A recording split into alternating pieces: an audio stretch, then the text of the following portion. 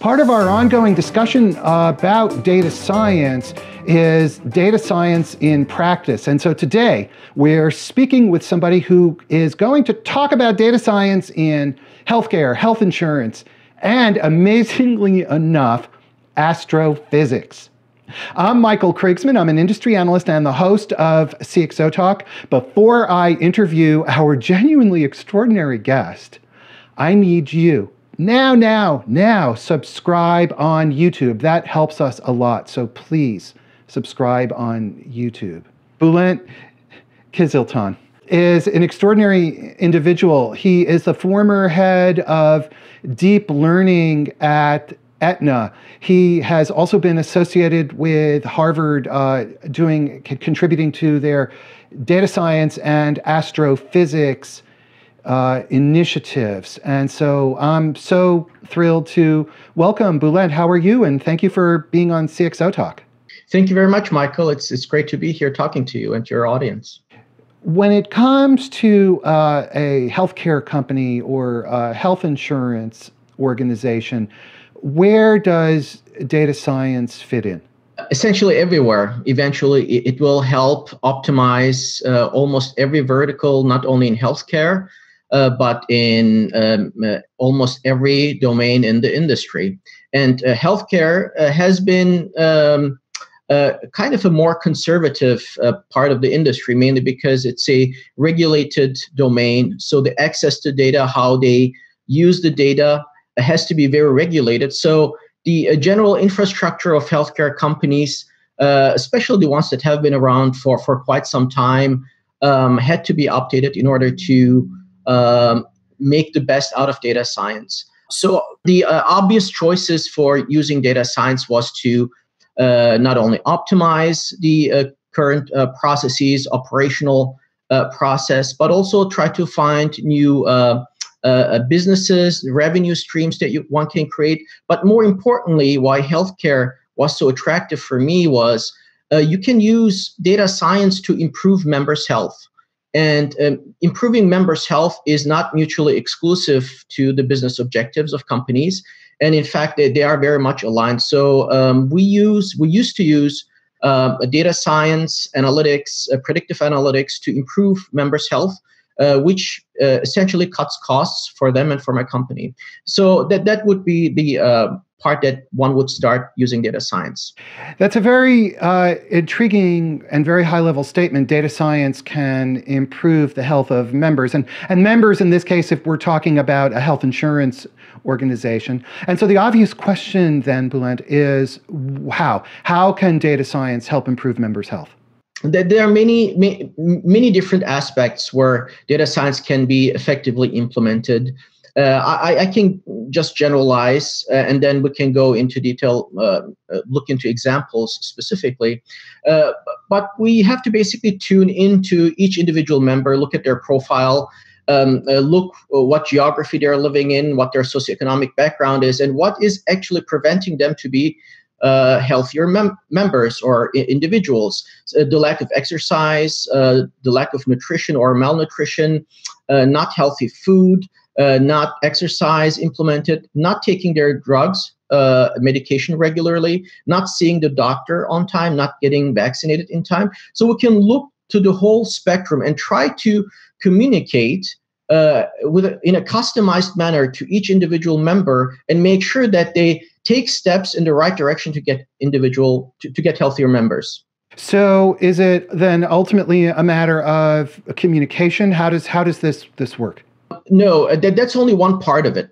Uh, so, so, data science uh, in, in this context and in almost every application in the industry has to be taken as a holistic perspective and lives in an ecosystem uh, where each individual part of the business process has to be effective. Unless your marketing, your communication is working really in tandem effectively with the data science team, the results that the data science team produces will not create the value that it's supposed to do. So when it comes to those individual members, we we basically have to look in each individual member. Obviously, we come up with models and then we approximate certain aspects and we have information streaming in while we take the steps and update ourselves uh, so that we can improve the behavior of each individual member. So there's quite a bit of uh, uh, behavioral psychology involved as well. So, for instance, uh, we look at the uh, um, member base uh, who are uh, getting flu shots versus none. So we're trying to tap into their psyche in order to understand why they are not taking the flu shot and how what can we do to make sure that, they, they get vaccinated, they get their flu shots, and uh, encourage their neighbors to get a flu shot. So by uh, taking incremental steps, um, uh, using behavioral psychology and uh, past data that we uh, fold into our practices, we're trying to change their behavior step by step. So then, is it again? I'm trying to to, to drill down on the multiple aspects you're describing. Mm-hmm. So you're using data science to understand members' behavior in ways that would not otherwise be possible. And yeah. then you want to give give those members feedback so that they can change their behavior based on the patterns that you've uncovered through your data science. That that's one way of uh, doing it. Specifically, yes, that's correct. And uh, so then, what are the what are the the what's the data that you would then be operating on in this use case? Yeah.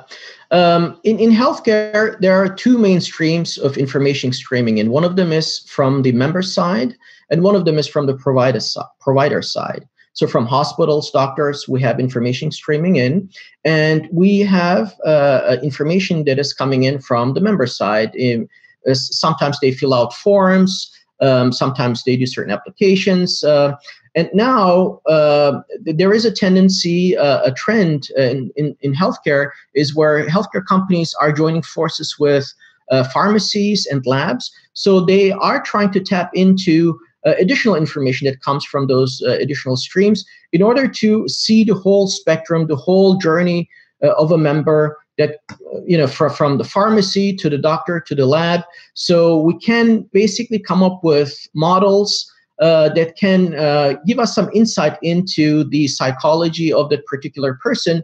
And there's also an additional uh, um, trend right now where we can get some live information from wearable uh, like Apple Watches and Fitbits and, and some, some other means, some applications by which we can really uh, communicate uh, their latest status to our infrastructure, to our recommender systems, and come up with uh, better ideas how we can help the members be healthier. And I'll, I'll be happy to dive into more technical detail if you want me to. I want to remind everybody that we're speaking with Bulent Kiziltan, who is a data scientist, and we're talking about healthcare, and we're going to be talking about astrophysics as well. And right now, there is a tweet chat taking place, and you can ask Bulent questions using the hashtag CXOTalk. It's, it's really a tremendous opportunity to get your questions answered. So, Bulent, you mentioned uh, technical detail. I'd love for you to dive into that a little bit, please so um, let, let's say we want to um, work on flu in general it's a it's a five billion dollar revenue stream for the industry and uh, it's one of the notorious uh, use cases mainly because for many decades there has been um, uh, some um, uh, progress uh, in the academic world but it has not been successfully implemented in the industry to create value so there are multiple components to this flu problem. One of them is how can we predict when the flu season peaks at a certain geography or zip code? So that you know that that is a whole uh, a different problem where you have to use past data, uh, primarily from CDC or your own, in order to predict. Uh, let's say uh, on November 2nd, what will be the outlook for flu in Boston as opposed to Miami. So that uh, I'll dive uh, deeper into this because to to solve that problem or at least make some progress, I used my uh, astrophysics or physics background, which is which is uh, probably of interest to to your listeners. Uh, so um, uh, initially, we want to think of how does disease spread from one individual to another. They have to interact one way or the other. This is how disease is being spread. And I was thinking of individuals as, uh, let's say, like air molecules or, or atoms in a gas. And astronomers and physicists for a very long time, many decades, have uh, uh come up with uh, mathematical approximations to uh, define the dynamical interaction of individual particles. And we use that all the time in astrophysics. We use that all the time in physics.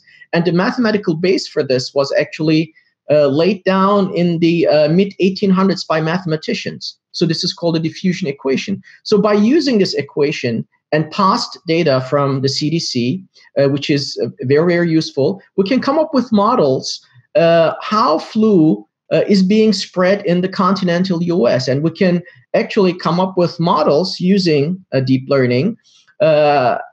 if we see a certain case of flu in Miami, let's say late August, when do we expect a flu uh, epidemic to happen in Boston or, or if it's going to happen. So we can use that aspect to make that prediction.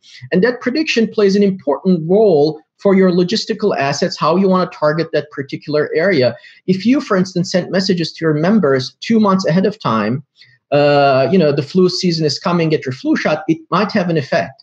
But there is a sweet spot how uh, early you can reach out to your members. So you want to actually predict with certain confidence when a certain area will have a flu epidemic or case uh, that is that is relevant. So then another area is what keeps your members from getting the flu shot, right? You want to get them immune or get the flu shot, even though they're not perfect, but they're still contributing to the effort to stop the spread of flu. And th- there, there's something called herd immunity. You want to have a certain percentage of your of the population to have the flu shot in order for you to stop or slow down the uh, propagation of flu. So you want to get uh, members to to uh, have the flu shot. So then we have to look into our member base and uh, look at the cohorts um, and try to understand why they don't get the flu shot. In fact, most of the members are healthy individuals that uh, have no problem in the sign with the signs of the flu shot, uh, but they don't feel the necessity to, to go to a, a, store or their doctor to get the flu shot because they think, you know, I, I'm I'm I'm okay, I can get the flu and it doesn't matter. So then we have to come up with ways to uh, encourage them to go and get the flu shot. And there are uh, different ways of doing that. And behavioral psychology is an important one. Also, marketing strategies is an important one. I, I can't go into the detail of the strategy itself, but in order to uh, look into the details of the cohort and try to track whether your approach is working in real time uh, is a data science uh, exercise. And what's the accuracy of the results that you achieve using data science in these kinds of examples you're describing? Yes, so so that, that really depends on the geography that you're applying to and this is uh, still an ongoing project we have uh, applied it in, in, in different locations in pilot areas uh, typically changing the behavior of members of individuals is very very difficult so if you are able to change 5 or 10% of the cohort's behavior i, th- I think that can be considered a success it adds great value uh, but uh, it's it's an early assessment. But I think with the approach that we have, uh, we are able to uh, change a more significant fraction of the cohort that will add up uh, significantly um, in terms of uh, cu- cutting the cost. Now, this is a little bit more technical, but how do you decide? There are different types of data science models and techniques, and how do you how do you decide which one to apply? Yeah, so um, uh, this is a question that comes up uh, all the time. Uh, e- even when you talk to the most experienced practitioners in the industry, uh, you cannot get an answer right away. They, they cannot tell you, oh, this is the problem. Uh, you can use this type of architecture. You can do, use deep learning as opposed to regular machine learning or uh, regular statistical methods, which I think are uh, undervalued in the industry. Uh, stuff like um, Bayesian statistics, for instance, is very useful. Uh, but then uh, what I do and what I've learned from my mentors is, you know, I directly look into the data, what type of data it is. Uh, that, that that will tell you what you can and cannot do. It's it's the uh, ultimate determinant of your capabilities. If if your data is no good, you know, even if you uh, use the most sophisticated method, you you won't be able to get out something useful or of value. But then uh, you have to make sure that your data is in order, it's cleaned, and then you have to look into the data stream, whether your data is uh, homogeneous, whether it comes from one or two streams, or whether it comes from different streams. And different streams of information m- means uh, very different types of noise, um, uh, different types of problems, sampling uh, errors and biases. So then you have to basically step up your game in the sophistication or the level of sophistication that you implement or foresee uh, in, in your model. So it, it's it's really a, a, problem that you have to take step by step. And in the end, even if you see the whole picture, uh, it's very difficult to guess ahead of time which approach will perform better. So what I do typically, and what what I tell my team to do is to have uh, multiple approaches used, and you know even if you use the same approach. Uh, if, if it's used by two different teams, sometimes the outcome might be slightly different. So uh, it's it's basically a trial and error process um, uh, moving forward and looking at the met- uh, me- uh, metrics of success. Bulent, I know that uh, quite a number of insurance companies are using Apple Watches and Fitbits and similar devices. Yeah. And what are the what are the data science challenges and opportunities and advantages of using these devices in order to help help what actually? What's the what's the goal? What's the outcome of that? Let me ask you let me get back to basics as well. Right. S- since these are ongoing projects i will be able to talk in general terms only. Um, so, so, those uh, um, devices like an a- apple watch or fitbit is basically tracking your daily routine. And in some cases actually this is also open in the public uh, there's a lot of work that goes into uh, recording your voice and based on your voice patterns uh, making predictions about your health or your uh, uh, daily status and, and what you do in, in your psychology even even though some limited progress has been achieved in, in that regard. But in terms of the regular uh, statistics we know how much you move. Uh, we know uh, whether what your heart rate profile looks like and that gives an enormous detailed insight into your health. And once we combine that with other information that we have about you about your let's say, a, a past uh, uh, history about uh, uh, illnesses that you might have, your the medication that you take. It gives us very strong indications about the status of your health. I always say in AI and machine learning at large, one plus one, uh, if you do your job right, is greater than two. Which means if you look at this certain stream of information, if you get something out of it, if you combine it with another stream, the um, information that you produce out of that will typically be synergistic. It will increase the value of both of them, and it, you sometimes you can pick up information that is very sophisticated, sophisticatedly intertwined in, in what's called the higher dimensions of this information space more effectively. So you will be able to tap into different patterns uh, you can tap into a different source of information and you can act and execute based on that. So, in this case, if we're talking again in general about insurance and using wearables, the goal is to raise awareness among the members of things that are going on with their own health, psychology, and habits that they would not otherwise see, so that therefore they can take action essentially and operate themselves on that data. Is that an accurate way of expressing that's, it? That's essentially the first order thing that uh, healthcare companies are trying to achieve with this, uh, especially with members where the psychological barrier is not significant. They're on the edge of making the decision and they can't, they just need an additional nudge. You have to come up with the appropriate nudge uh, at the appropriate amount so that the member either goes to the gym or takes uh, their med- medication or gets the flu shot. So ultimately, I guess that's the same with it. With I guess the goal of any data science effort is to present the information information that the person, the human, can then operate on. In this case, saying, "I'm going to get a flu shot." Uh, in, in, in that domain, yes, but but at large, what what makes AI so great is is the techniques that you use is transferable directly from one domain to another. Uh, so essentially, what you do is you look at a data stream uh, that might come from uh, multiple streams. It might be sophisticated, it might not be sophisticated. But what you're trying to essentially do is extract information and interpret that information based on the domain expertise that you have. In the case of astrophysics, you uh, interpret and you're trying to understand the information in the context of astrophysics, in the context of healthcare. Uh, you try to understand with that domain expertise and concepts. If you're in the financial sector, you're trying to do something else. But essentially, the techniques are very similar, if not the same. So let's actually talk now about astrophysics and maybe very briefly tell us what you're doing and what you have done with astrophysics. Right. I'm uh, essentially trained uh, as an astrophysicist.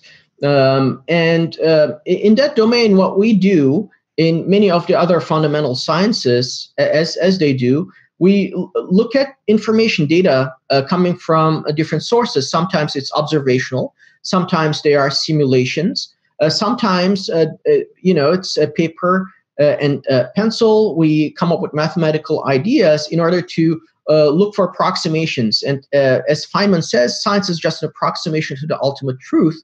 So we're trying to take those steps to uh, get a better resolution on the ultimate truth um, in order to understand the universe.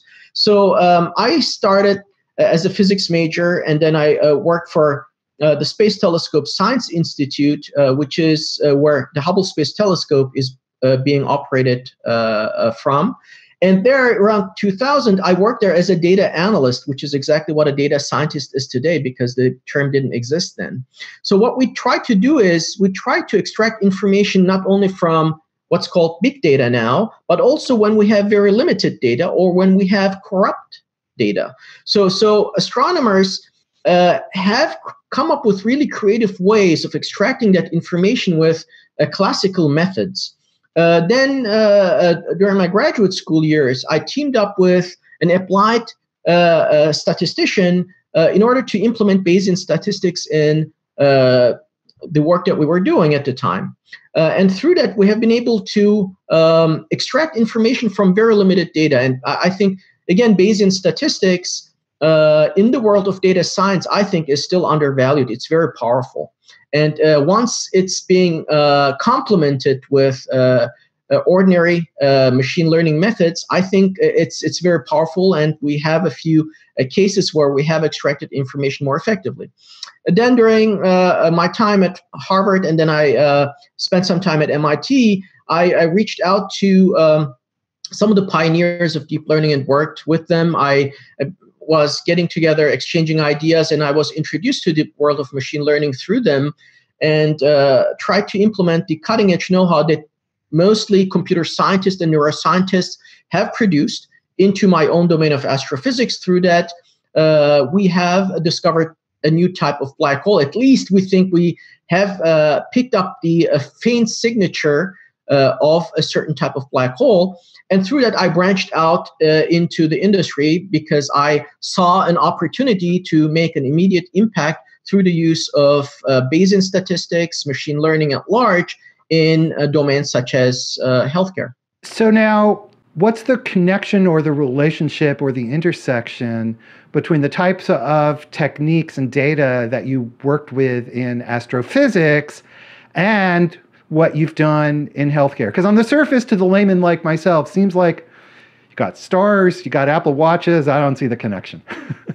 right. So, so we we have to go back, uh, kind of uh, dissect the whole process. The first part of the process is uh, getting the data. The second part is cleaning and make making sure that the data uh, is in place and is in, at high quality. The third part of the process is to uh, extract information. And all those three parts uh, are more or less, uh, well, I, I, wouldn't say it's the same, but very similar. Domain expertise in healthcare or astrophysics is more or less not relevant in those uh, early processes, which take 70% uh, of the whole data science process, I would say. And then you have uh, the l- latest stage of once you have certain insights, you need to interpret them and turn them into actionable items. Now, this is where astrophysics and healthcare obviously have nothing to do with each other, but the, the, the 70% of the process is very similar. And this is why I said AI or data science is, is really great. The skill set that you build as an astronomer, as a computer scientist, is very transferable from domain to domain. And since this is a nearly emerging field, you know, we see uh, uh, a lot of data scientists in the market, but almost none of them uh, is uh, uh, formally trained in data science because uh, from an education perspective, we still have not settled on the proper way to train data scientists. I mean, there are lots of courses that you can take, but there's no still formal training. So people from different domains are coming into the domain of data science and bringing in their really diverse backgrounds, uh, diverse skill sets, and trying to contribute to the whole process that makes the 100%.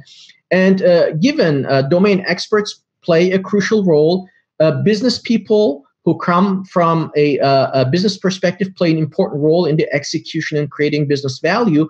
But 70, 80% of the data science process does require very little, if any, domain expertise. So when it comes to the techniques, uh, we can go into technical detail, but they are very relevant. And astronomers, uh, I have to uh, kind of advertise that particular domain mainly because astronomers and astrophysicists are very unique in, in terms of their skill set. They use very diverse data sets. Uh, they are not limited and they have to literally think out of the box all the time.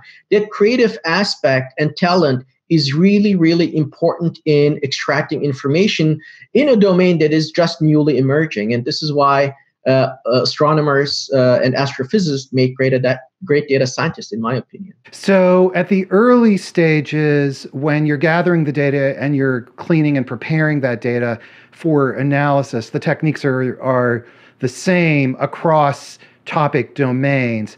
But then once you have that data, now you're operating on it to solve specific problems, is where you need the specific domain expertise. Is that a correct way of what you what you just said? Uh, absolutely. I think it is it is crucially important to partner with uh, good domain experts, and uh, also on top of that, what is also uh, sometimes missing in business operations is the uh, complementary talent that engineers bring in, data engineers. So uh, once a, a, good data science team or analytics team pairs up with domain experts and engineers, and on top of that have uh, a business uh, uh, uh, a talent on board that can execute on that, I, I think uh, that, that that is the ultimate uh, that you want to have in, in any type of operation. We have a question from Twitter, and the question is so there are all these different uh, techniques, whether it's deep learning or cognitive computing. And so, how should a business person relate to these, where they're just almost meaningless words to your average business person? Hire good data scientists and domain leaders to lead data science efforts. I think this is crucial, crucially important.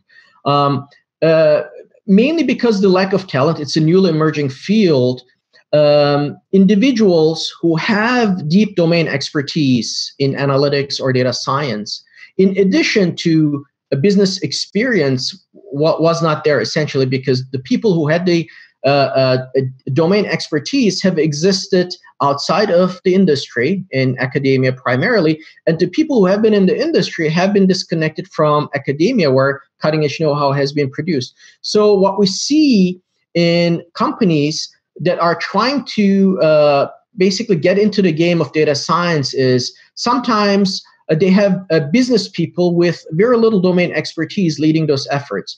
And I think for the short term, that can be a remedy for the situation that they're in. But in order to have um, and create sustainable value with AI in the long term, I think it's essentially important to have domain experts with business acumen to run the AI operations, and also an additional uh, uh, specific profile feature that the person has to have is uh, being an educator really helps once you're in that leadership position so that you can communicate the really complex problems to the board or stakeholders within that business. But how can a business person, I'm going back to the same question really, how can a business person explain complex problems and models of data science to a very non technical board of directors? How do you even approach that? Yeah. Uh, again, being trained as an educator is important. I mean, we, uh, uh, when I was in academia, uh, astronomers especially, they have an a, significant awareness of public outreach. Uh, we were uh, giving regular talks to the public, and you you have to talk in non-technical terms and really um, explain very sophisticated concepts like black hole evolution, stellar evolution, to uh, to the public, sometimes grade school kids. Uh, it's it's not very different in the business uh, domain, and uh, sometimes it's actually simpler. But you have to basically partner with a leader that can break things down for you and summarize things uh, to that particular business leader. And this is where finding the right leader comes into play. It's, it's crucially important to find a person that can explain uh, complex ideas to those business people on on the uh, other side of, of, of, the table, obviously, you have business people that have to educate themselves in order to uh, grasp. And there are certain uh, CEOs that uh, uh, make it mandatory to uh, almost every individual in their company to get basic literacy in machine learning, which which will be very important. But on on my side, I think uh, being an educator really helps in breaking down breaking down topics and uh, explaining complex ideas.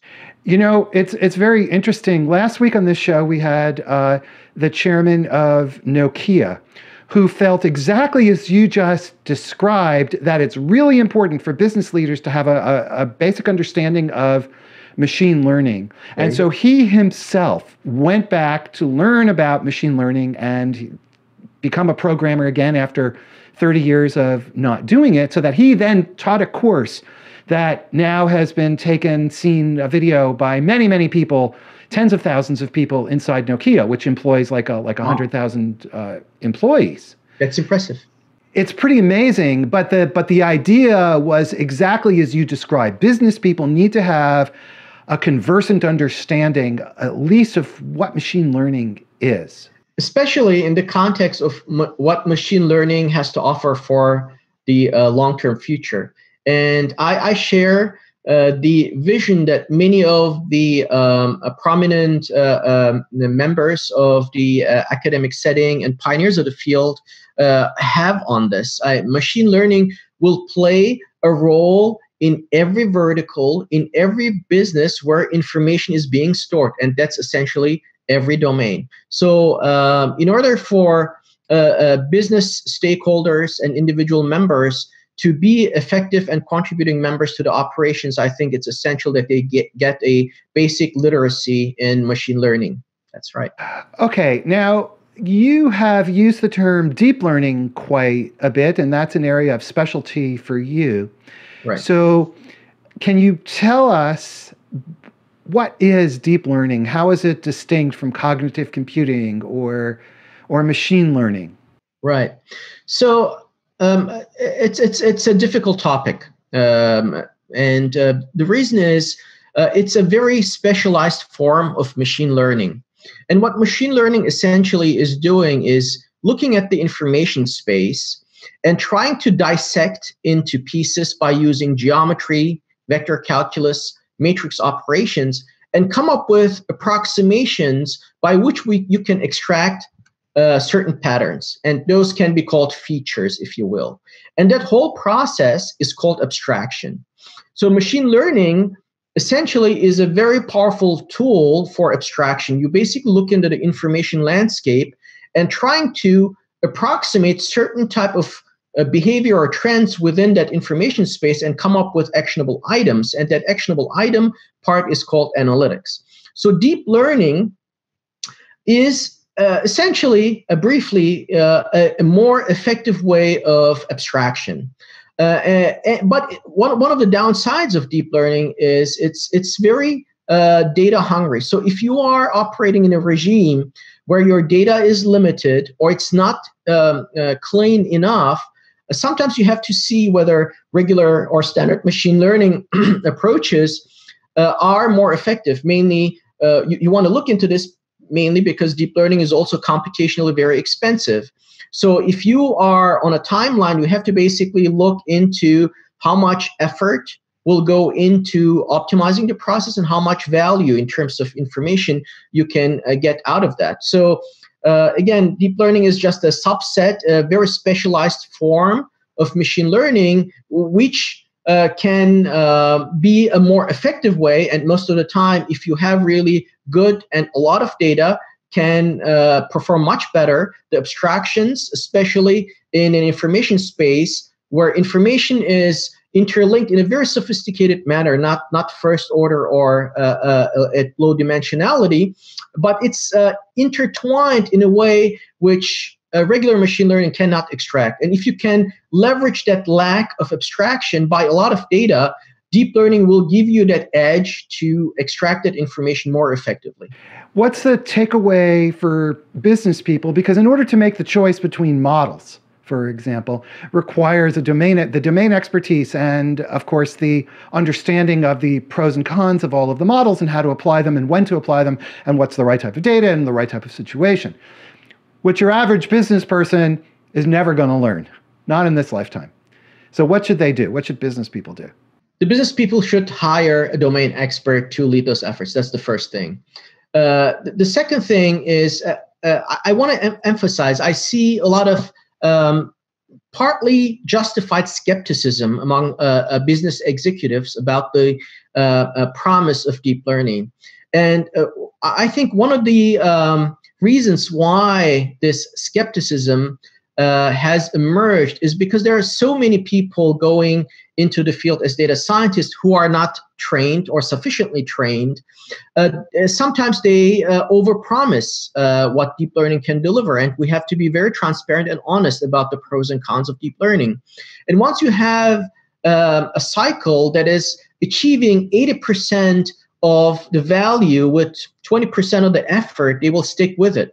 You cannot convince them to use a black box uh, without a customized code and say, oh, deep learning is performing much better. You basically have to look at this in a holistic perspective. You, you have to invest into your infrastructure. You cannot use uh, uh, uh the old uh, uh, hardware to effectively use deep learning all the time. And one of the reasons why deep learning has become a, a, hot topic very recently, even though the idea of deep learning has been around for more than uh, two decades now, is mainly because of the advances in the hardware and uh, the proliferation of GPUs uh, that we can purchase uh, on an individual basis. So once you look at this whole picture, uh, you have to uh, have a transparent and honest approach to deep learning and basically uh, see whether there's value in investing and uh, whether it's uh, sustainable in terms of the value that it creates with AI. So once that is in place, and also once you have the talent that you need that can really customize your architecture, your neural network architecture, you cannot go to a black box. Uh, there, there, are many commercial products where you just pipe in your Excel sheet and uh, uh, you cannot just claim, you know, one of the columns is now optimized and I make predictions based on deep learning. I mean, uh, th- th- this is this is not uh, deep learning in its essence, and it's it's not what it promises in the long term. There are given lots of uh, low hanging fruit uh, that you can pick with this uh, approach, but in order to be a leader in the field and bring in the cutting edge know how with deep learning and machine learning at large, I think a diverse talent in the uh, data science pool is very, very important. But so many companies now, enterprise software companies, are promising that we use AI to solve, put a blank, every problem you can imagine.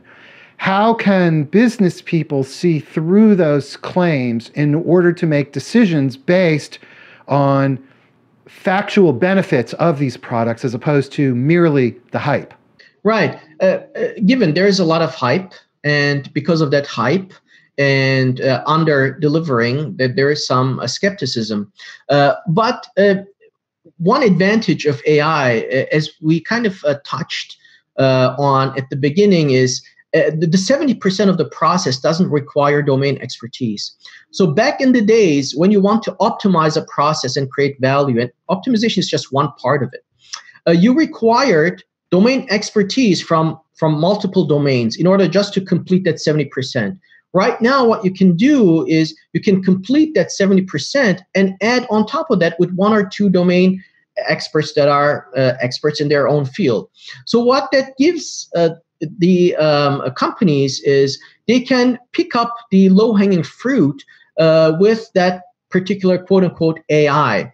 Uh, but what I've seen over and over that optimization or that value creation could have happened with other standard methods in the past either the reason why it didn't happen is either they didn't invest into it or they didn't have the talent in those multiple domains. Now, AI is providing them uh, with the means of uh, coming up with better, more optimized uh, business uh, processes with data scientists plus a domain expert. So, but but as I said, I don't think that this type of approach will be sustainable in the long term because of uh, the archaic uh, methods uh, that was used or the lack of talent uh, in, in business operations.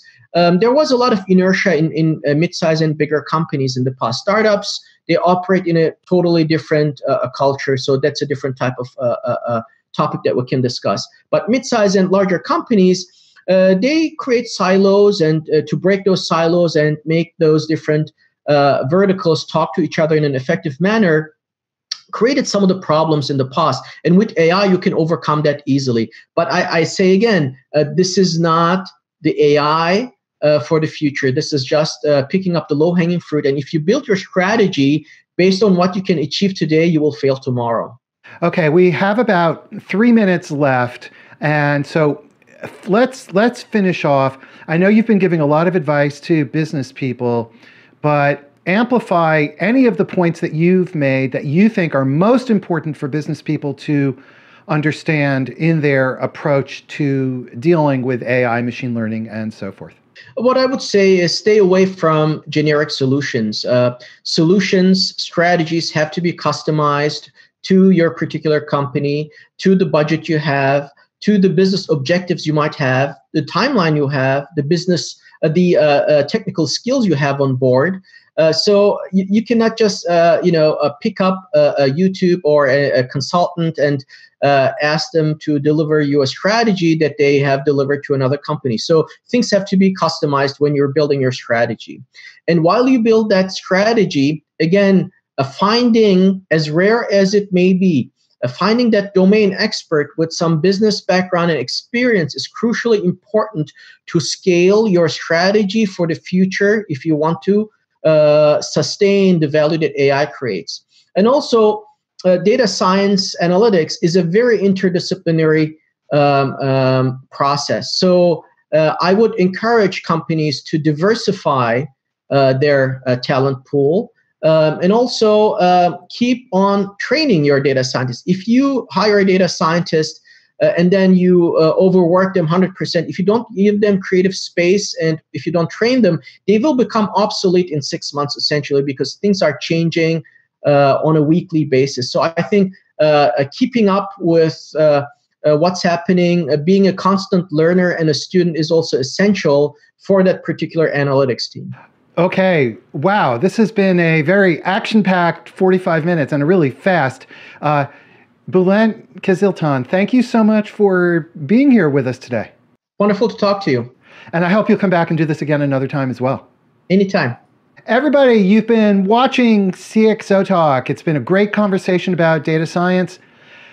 Now is the time. Subscribe on YouTube. That helps us out a lot. Go to cxotalk.com. We have a huge number of videos, and we'll see you next time. Have a great day, everybody. Bye bye.